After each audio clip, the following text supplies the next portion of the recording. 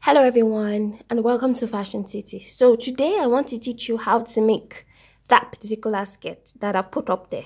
Now it's very very easy especially if you can draft a skirt pattern either using freehand or pattern making. Now the first thing you're going to say is why does my skirt pattern look this way? Yes, normally you're supposed to have something like this. Well, be like okay this is center back and this is your back pattern. And then I would say oh this is center front and this is so you'd have two pieces of this one for your back and one for your front. But because of this the way this pattern the way this skirt is I'm just going to show you how I've created my patterns. So this is the normal um you know quarter pattern for the back. But for the front you're going to have a full piece with your back pattern. So it's a normal way. Just ensure that um, it looks this way. Both the front, the full front and the full back is there. So this is the reason why, because of the of the wrap effect. So let's let's just start and then you would understand. So the first thing that you would see, there are three things that you can see in that particular skirt. The first thing is that there's a is actually a wrap skirt, but the there are two pieces of um, the front. There are two front pieces. One has the wrap and one is just plain underneath. But because it's underneath, you can't see that it's plain. So how do we create that wrap, you know, that has the twisted, it looks like a peplum and it's just looking gorgeous. So let's start. We're going to mark points. The first thing you would notice is that there's like a diagonal line here. So I'm going to say, okay, I want this diagonal line to start from here and probably end from here. So I'm going to get a ruler and draw a line. Good. So I've drawn the first line. The second thing is you would notice that there's also a line that's that ends here and it ends exactly on the center front line before it goes up here. So I'm just going to say, okay, I want it to end here. So you mark your point and draw another line. So this is my second line. So the third thing you would see is that this line goes here. So this is how to actually create the pattern. Now, once this line goes from here to here, it's like a curve. What happens is that when you cut it out and you fold it back, it ends exactly here. Now, you know that it ends, the peplum actually ends here. So what you have here should be what you have here. So I'm just going to assume that this is it. And then I would draw a curved line. You can use your hand, but I'm going to use a curve ruler. So let me get my curve ruler. So I'm just going to use my curve ruler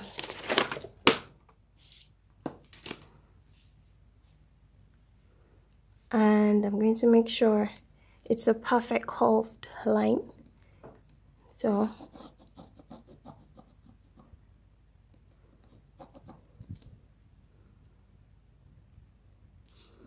so I've done this right the next thing that we're going to do is to cut it out so I'm just going to cut it out now I have my cutouts now before, this is exactly how the cutout looks like. Now, this is just the first part. How do we draft the second part? Look close. If you notice, there's like an, ex excuse me, there's an extension here. So we're just going to draw a line from here to here.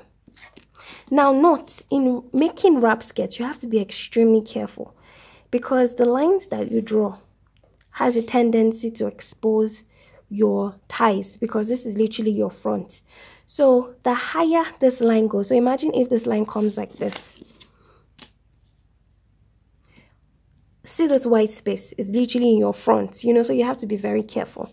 So this line right here shows that is not too exposed, right? So this is it. So we have two patterns. So this is all you do on this pattern. So I'm going to trace out. This is your master pattern. You, you don't cut this. You trace out. So I have my traced out patterns. So this is one piece. And this is the second piece. How?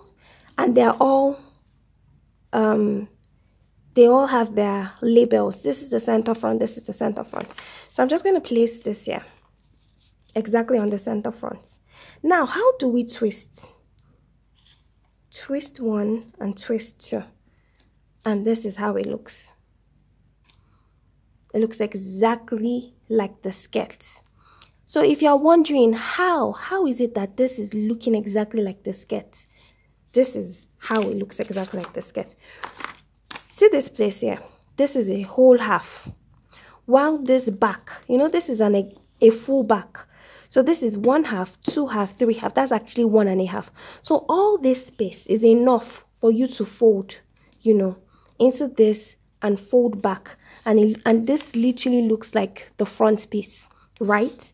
So that's why i had to draw this part here. I had to add the back to the front so that i can get enough to fold when I curve my line. So it's very simple if you have to watch this video all over again to get it because literally when I was trying to create this, you know, the first time I had to learn it, I watched and watched and watched. I even got paper and I cut it out. So it's so simple. You can instead of um, creating your full pattern, you can use paper first of all, mark out your um, measurements and then, you know, create your back pattern and create your full part and full front pattern.